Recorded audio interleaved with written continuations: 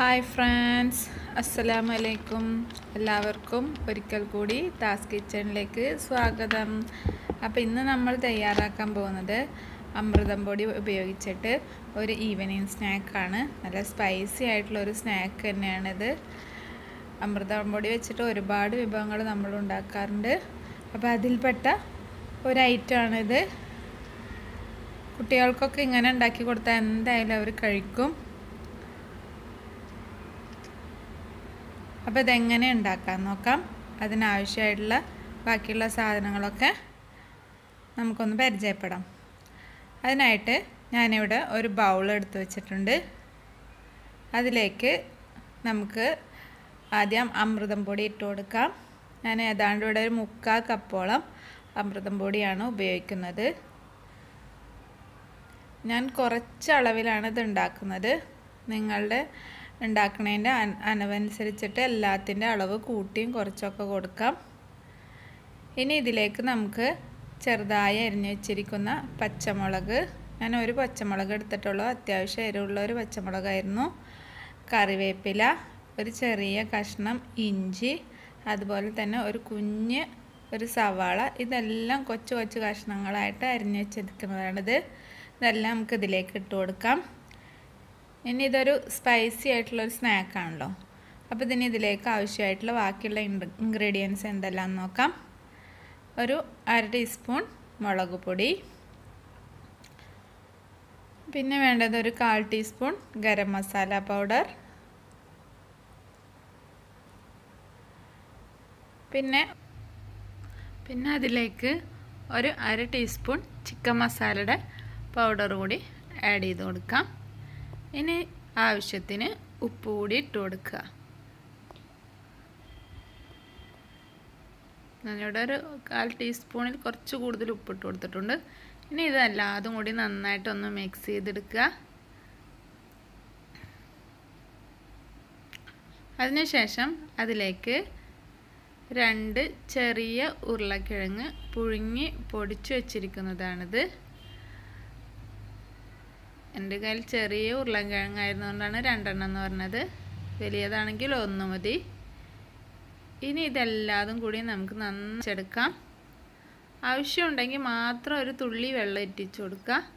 ഞാനിവിടെ ഒരു ടീസ്പൂണോളം വെള്ളം ഒരു കുറച്ച് ഒഴിച്ചു കൊടുത്തിട്ടുള്ളൂ. ഇനി കൈ വെച്ചിട്ട് തന്നെ നന്നായിട്ട് നമുക്കിതൊന്ന് കുഴച്ചെടുക്കാം. ഞാനിതിവിടെ കൈ കൊണ്ട് തന്നെ നന്നായിട്ട് കുഴച്ചെടുത്തിട്ടുണ്ട്. അപ്പോൾ ആ വെള്ളമൊക്കെ എനിക്ക് പാകം ഞാൻ വേറെ വെള്ളമൊന്നും ആഡ് ചെയ്തിട്ടില്ല. ഉരുളൻകിഴങ്ങ് വെച്ചിട്ട് കുഴച്ചതിന് ശേഷം വേണമെങ്കിൽ വെള്ളം ഒഴിച്ചു കൊടുത്താൽ മതി. ഇനി നമ്മുടെ കയ്യിൽ കുറച്ച് എണ്ണ തടവിയതിന് ശേഷം അതിൽ നിന്നും ഓരോ ചെറിയ ഉരുളകളാക്കി എടുക്കാം. ചെറിയ ഉരുളകളാക്കി തന്നെ എടുക്കുക. കാരണം നമുക്കത് ഉള്ളൊക്കെ ഒന്ന് വെന്ത് കിട്ടാൻ വേണ്ടിയിട്ടാണ്.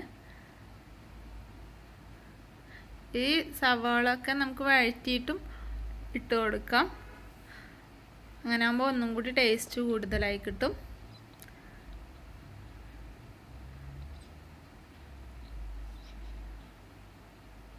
ഞാനിവിടെ ഒമ്പത് ഉണ്ടകളാണ് ഉണ്ടാക്കിയെടുത്തിട്ടുള്ളത്.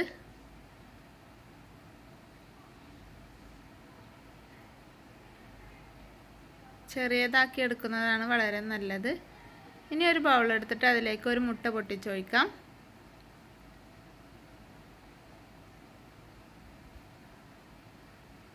ഇനി ഇത് നന്നായിട്ടൊന്ന് ഇളക്കിയെടുക്കാം.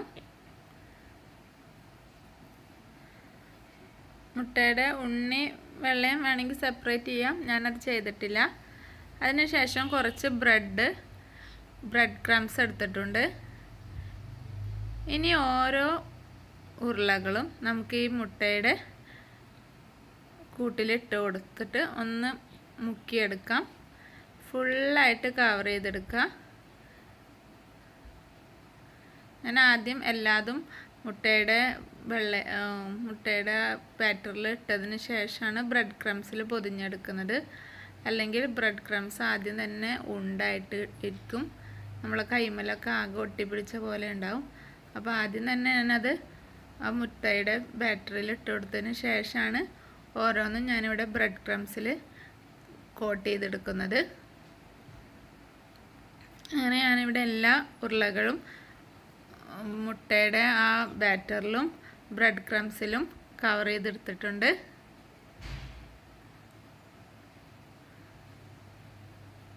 ഇത് കണ്ടില്ലേ? കൈയുടെ ഉള്ളിലൊക്കെ നമുക്ക് ഇങ്ങനെ ആദ്യം തന്നെ ചെയ്ത് കഴിഞ്ഞാൽ അങ്ങനെ കടലിലൊക്കെ ഉണ്ടായിട്ടിരിക്കും. അതിന് വേണ്ടിയിട്ടാണ് ഞാൻ ആദ്യം തന്നെ മുട്ടയുടെ ബാറ്ററിൽ മാത്രമായിട്ട് മുക്കിയെടുത്തത്.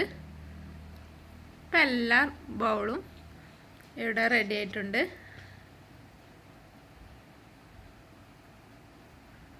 ഇനി നമ്മളൊരു ചീനച്ചട്ടി അടുപ്പത്ത് വെച്ചിട്ട് അതൊന്ന് ചൂടാക്കിയെടുക്കുക.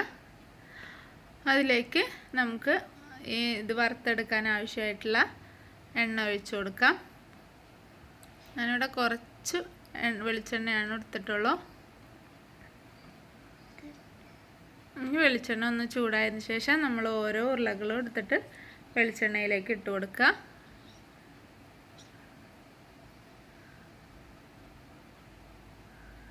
ഇത് ഞാനിവിടെ സെക്കൻഡ് ട്രിപ്പാണ് ഇട്ട് കൊടുത്തിട്ടുള്ളത് ആദ്യത്തെ വീഡിയോ എന്റെ കയ്യിൽ നിന്ന് മിസ്സായിപ്പോയി അതുകൊണ്ടാണ് ഈ എണ്ണ ഇങ്ങനെ കറുത്തിരിക്കുന്നത്.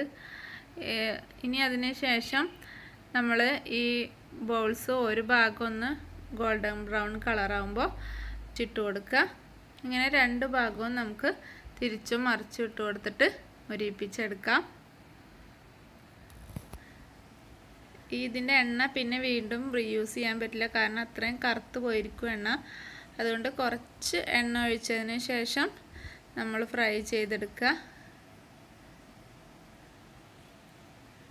ഇപ്പോൾ രണ്ട് ഭാഗം നല്ലോണം ബ്രൗൺ കളറായിട്ടുണ്ട് ഇനി നമുക്കിത് എണ്ണയിൽ നിന്നും കോരിയെടുക്കാം. ഒട്ടും എണ്ണ കുടിക്കാത്ത ഒരു സ്നാക്കാണിത് അപ്പോൾ എല്ലാവരും ഇതൊന്ന് ഉണ്ടാക്കി നോക്കണം. നല്ല ടേസ്റ്റി ആയിട്ടുള്ള ഒരു ഈവനിങ് സ്നാക്ക് തന്നെയാണ്. അപ്പോൾ നിങ്ങൾ ആദ്യമായിട്ടാണ് എന്റെ ചാനൽ കാണുന്നതെങ്കിൽ ആ ചുവന്ന സബ്സ്ക്രൈബ് ബട്ടൺ ഒന്ന് ക്ലിക്ക് ചെയ്ത് ചാനൽ സബ്സ്ക്രൈബ് ചെയ്യാൻ മറക്കരുത്. കൂടെ വരുന്ന കുഞ്ഞ് ബെല്ലൈക്കണും കൂടി ക്ലിക്ക് ചെയ്യുക. അതിൽ ഓൾ എന്ന ഓപ്ഷൻ തന്നെ സെലക്ട് ചെയ്ത് വെക്കുക. എങ്കിലാണ് ഞാനിടുന്ന വീഡിയോസിന് നോട്ടിഫിക്കേഷൻ നിങ്ങൾക്ക് ലഭിക്കുകയുള്ളൂ. അപ്പോൾ നിങ്ങളെല്ലാവരും ഇതൊന്നും ഉണ്ടാക്കി നോക്കുമല്ലോ. അപ്പോൾ വീണ്ടും വേറൊരു വീഡിയോ ആയിട്ട് വരാം. അതുവരേക്കും ബായ് ബൈ